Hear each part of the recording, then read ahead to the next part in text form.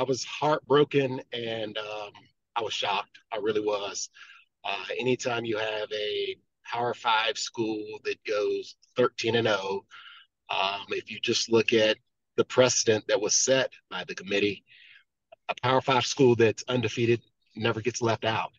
And so we were just under the assumption that we were in. You win 13 games, first team quarterback, second team quarterback, third team quarterback. It doesn't matter. You win uh, 13 games and go undefeated.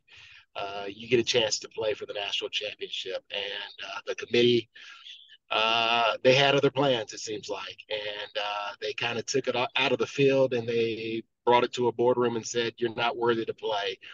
And like I said, it just it broke our hearts, and uh, we were just we were we were truly devastated what what do you think led them to this decision? You hear people saying it's political. They want Alabama in there. If Georgia's not in there, they want Nick Saban in the playoffs. You know, ESPN wants him in there. You know, what do you think the reasoning was? You know, I really don't know. I mean, and uh, to me, that's one of the, the most frustrating things about it is because I don't really know what what the real reason what, what behind it was. You know, I um, you know, I, I hear the committee say that they want to put, I guess, the best four teams in in the in in the playoffs, and because we had a quarterback that was hurt, uh, maybe we're not one of the better teams. But it just seems like the week before we had that same hurt uh, quarterback that was hurt out. Uh, we go into the swamp, and that same committee votes us as the number four team in the country.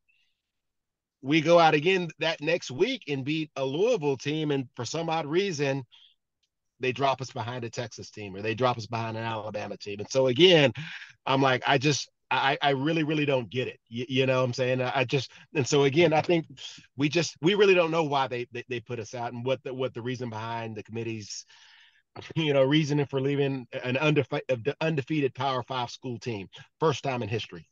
You're hearing, you know, even people from the political world coming out and and Senator Senator Scott's demanding answers. Governor DeSantis is weighing in. Is there something that you think could be done?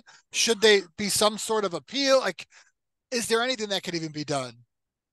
You know, I don't think there's anything that could be done. Again, I wish there was an appeal process, and I wish there was something out there that they could go back and and make this right. I really do. You know, but unfortunately, I don't think it can be. But um, I, I I would.